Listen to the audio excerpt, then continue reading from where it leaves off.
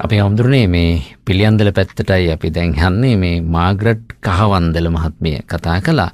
මේ එතුමී අපෙන් ඇහුව මේ අවීචි මහා නරකාදීට වැටුනොත් එහෙම නැවත ගොඩ එන්න පුළුවන්කමක් ඇත්තෙම නැද්ද කියලා. එතුමියට ඒ පිළිබඳ යම් කිසි ගැටලුවක් තියෙන වගේ අපේ හමුදුරනේ එතුමී අවිච්චි මනරකාදී පැත්තට යන්න බලාගෙන ඉන්නවද දන්නේ නැහැ සමහරකට අඳුරන හැම ඉන්න පුළුවන්නේ එහෙමයි. ඉතින් එම නිසා මම මුලින් මතක් කරන්නම් අවිච්චි මහනිරේට යන්නට ලැබෙනවා. බුදුරජාණන් වහන්සේගේ ලේසෙලවීම රාතන් වහන්සේ ඝාතනය මවමැරීම පියාමැරීම සංඝ ભેදය සහ නියත මිච්ඡා දිට්ඨිය. නියත වශයෙන් මිසදුටු අරගෙන හිටීම මේ යන තුරු. එතකොට එයාලා අනිවාර්යයෙන්ම අවීච මහනිරේට යනවා මේ ජීවිතයෙන් පස්සේ වර්තමාන ජීවිතයෙන් පස්සේ. ඉතින් ඒ අනුව පංචානන්තරිය පාප කර්ම කරපු ඒ කියන්නේ නියත මිසදුටු හැර පංචානන්තරිය පාප කර්ම කරපු අය අඩුම තරමේ අන්තක් කල්පයක් කියන්නේ බුද්ධාන්තරයක් ඉන්නට වෙනවා. ඒ කියන්නේ එක බුදුසසුනක් පහළලා ඊළඟ බුදුසසුන පහළ වෙන තුරු කාලයට කියන අන්තක් කල්පයක් කියලා. ඒ බුද්ධාන්තරයේම ඉන්නට ඕනේ අවීචි මහා නිරේ ඊට පස්සේ එයින් චුත වෙලා සුගතියට එන්නට පුළුවන් පෙර කුසල් අනුව. නියත මිසදුඩු ගත් අයට අනිවාර්යයෙන්ම ඒ අවිච මහනිරේ ඉන්න අතරදී කල්ප විනාශයක් ආවොතින් මේ දසදහසක් ලෝකයේ විනාශ වෙන්න ආවොතින් ඒ වෙලාවේ අවීච මහනිරයත් විනාශ වෙලා යනවා මේ ලෝක දසදහසක් එක්කලා. එතනදී අර පංචානන්තරීය පාප කර්ම කරපු පහෙන් එකක් කරපු කෙනෙකුට වාසනාව ලැබෙනවා ධර්මානුකූලව දිව්‍ය ලෝකෙට එන්න දිව්‍ය ලෝකෙ මේ විනාශ වෙන්න කලින්.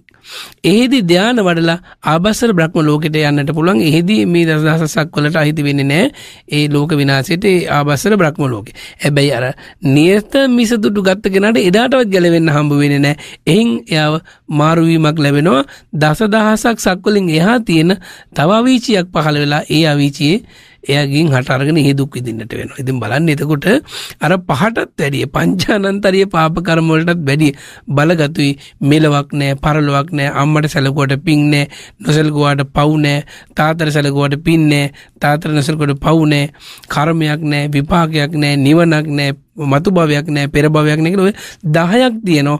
ඒ දසවිධ මිච්ඡා දිට්ඨියෙන් යුක්ත වුණොත් ඒක බලගතුයි අර පහට වැඩිය. අන්න එම නිසා අවීච මහ නිරය පිහිටලා තියෙන්නේ අපි මේ ජීවත් වෙන පොළොව තලයේ ඉඳගෙන යොදුන් 84000ක් පොළොව යට. එතකොට යොදුන් 100 100 දිග පළල උස ඇති. එහි තමයි දේවදත්ත හාමුදුරන් වහන්සේ ඉන්නේ. ඉතින් ඒ නිසා මාගන්ධිය චිංච මානවිකාව ආදී පිරිස් ඉන්නේ. ඉතින් බුද්ධාන්තරයක් ඒ දුක් විඳින්නට ඕනි. නිතරම ගව් දෙගව්සිය විශාල උසට ගිනි දැල් මතුවෙනවා, පිච්චෙනවා, දැවෙනවා.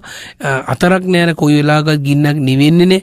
ඒ දැවි දැවි බොහෝ කාලයක් ශෝක කරනවා, දුක් විඳිනවා. ඒ නිසා ඒ කාල පරිච්ඡේදය අවිචී දුක් විඳලා තමයි චුත වෙන්නට තියෙන්නේ පෙර දැන් පෙර කරපු පින් ඊට පස්සේ මතුවෙනවා. ඒ නිසා දේවදත්ත ස්වාමීන් වහන්සේ පවා ඇත්ත වශයෙන්ම ඒ දුක් විඳලා ඇවිල්ලා පසේ බුද්ධත්වයෙන් පිරිණිවෙනවා. පසේ බුද්ධත්වයට පත්වල නම් පසේ බුදු බව ලබන්න තරම් මහ පිං තියෙන උත්තමයෙක් තමයි දේවදත්ත හාමුදුරුවනේ. ඇයි? ලෝභ හිත නිසා. අන්න එහෙනම් අපි තේරුම් ගන්නට ඕනි අවීචයේ දුක් විඳින හැම කෙනෙක් තුළම පින් තියෙනවා. හැබැයි අර ආනන්තරීය පාප කර්මවල බලගතුකම නිසා ඒවා වහලා තියෙනවා අර දුක විඳින තුරු. ඒ නිසා එහින් ගොඩේමක් තියෙනවා. හැබැයි හීනෙන්වත් හිතන්නට එපා අවීචිය දකින්න. හැබැයි ධානාභිඥා උපදවාගෙන බලන්න. ඒක කමක් නෑ. හැබැයි අවීචියට යන්න නම් කල්පනා කරන්නට එපා කියන එක මම ඊටාම කරුණාවෙන් මතක් කරනවා. අප හොඳන ඔබවන්ස හොඳ කාරණාවක් සීපත් කලර පංචානන්තරයේ පාප කර්මයන් වලට අමතරවර නියත මිසදිටුවෝ ගෙන කාරණය ඒ නියත මිසදිටුවන් ඕනෑ තරම් අද අපේ සමාජඉන්න අපේ හාමුදුරනේ. වහන්සේ සඳහන් කර පරිද්දීම මේ බුද්ධ ශාසනය බොරු මවක් නැත් මවෙක් නැත පියෙක් නැත මේ අදේ විදිහට මහා මිසදුටුකමින් පිරි ඉතිරිලා ගිහිල්ලා. ඇත්තෙම යම් යම් අවස්ථාවන් වලදී අපේ හඳුනේ මේ අපි ඇසුරු කරන පුද්ගල කණ්ඩායම් අතරත් අපේ මිත්‍ර කණ්ඩායම් අතරත් මේ වගේ ඉන්නවා. කෙසේ හෝ අපි උත්සාහ කළ යුතුයි මේ නියත මිසදිටුවන් මෙන් ආරක්ෂා කරගන්න ගලවා ගන්න. ඉතින් ඒ දේ කරන්න පුළුවන් මං හිතන්නේ අපිට තවත් කුසල් රැස් වෙනවා. ඉතින් අපි ජීවත් වෙලා ඉන්න කාලය තුලදී අපි මේ සංසාරෙන් ගොඩ යන්න උත්සාහ කරනවා වගේම මේවන් නියත මිසදුටුවන් ඉන්නවා නම් අපි අතරේ කෙසේ හෝ උත්සාහ කරන්න මේ අවීච මහා නරකාදීන්වත් ගලවා ගන්න. ඒ ඉතාමත්ම වටිනා කාරණයක්. ඇත්ත වශයෙන්ම මොකද අවීචිත මෙහා පායකට ගියොත් එහෙන් ඉක්මනට එන්න පුළුවනි. ඒ ඉතින් අවුරුදු වශයෙන් ගත්තොත් ලක්ෂ කෝටි ගාණක් ඉන්න වෙනවා. ඉතින් අවීචිත ගියොත් ඉතින් ඒ හිතා ගන්න බෑ දැන් වැඩි හිතන්න දැන් ලොකු ගින්නක් දිහා ගිනි ගොඩක් ගහපු ගින්නක් දිහා බලාගෙන ඉන්නකොට ලොකු ගින්දරක් ඇති වෙන ගින්නක් දිහා බලන් ඉන්නකොට ඒට වැටෙන වැටෙන සියලු දේ පිච්චි පිච්චි දැවි දැවි යනවා. එතකොට මම අහනවා දැන් ඔයා අත පොඩ්ඩක් දාන්නේ ගින්නට කැමතිද නැහැ. පිච්චිලා අලු වෙලා යන්න පුළුවන්. ඔය ගින්න බොහොම සුළු දෙයක්. අවීචියේ ගින්න කියලා කියන්නේ ගව් දෙගව් ගණන් උසට මේ ගින්න පැතිරෙනවායි කියනවා. ඒ ගින්නට වැටෙනකොට අබ පුපුරන්න වගේ හිසමල පුපුරන්නේ. හැබැයි මැරෙන්නේ නැහැ. මැරෙන හා වේදනා විඳිනවා අර කර්මයේ ගෙවෙන තුරු මැරෙන්නේ නැtei කියනවා. බුදුන් වහන්සේ පෙන්නන හීනකින්වත් සතර අපායට වැටෙන වැඩ කරන්න එපාය කියනවා. ඉතින් අපි ලෝභකම නිසා, තණ්හාව නිසා, ඊර්ෂ්‍යාව නිසා, අමෛත්‍රිය නිසා අපි බොහෝ පව් රැස් කරගන්නවා. අම්මට බයිනෝ, තාත්තට බයිනෝ, අම්මා තාත්තට රවනෝ, ඒවගේම බිරිඳ ස්වාමිය නොමග යවනුව. නොයෙක් පාප ධර්මවල යෙදෙන සිල්ලතුන්ට බයිනවා සංඝයාට ආක්‍රෝෂ පරිභව කරනවා. සංඝ දීපල සූරා කනවා. පොදු දීපල විනාශ කරනවා. ඒ වගේම සම්මාදම් කරලා තමන්ගේ සාකෝට දාගෙන ජයට ඉන්නවා. හැබැයි ජයට ඉන්දියා නෙවෙයි.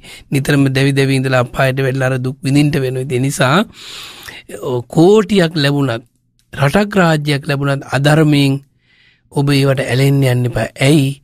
ඔබට කිසිවක් අරගෙන යන්නට බෑ. අරගෙන යන්නට පුළුවන් නම් කමකුත් නෑ. ඒ නිසා අරගෙන යන්නෙත් නැතිනම් දුක් විපාක නම් හම්බ වෙන්නේ අධර්මයෙන් ලැබෙන රාජ්‍යයට වැඩිය ධර්මයෙන් ලැබෙන සිංගමන සැපයි කියලා ඔබ ජීවත් වෙන්නට හිත හදා ගන්න. ඒක මං හිතනවා බුදුරජාණන් වහන්සේගේ ධර්මයේ තුල ඔබට හොඳ සනාතන ජීවිතයක් ගත කරන්න උදව්වක් වෙනවමයි.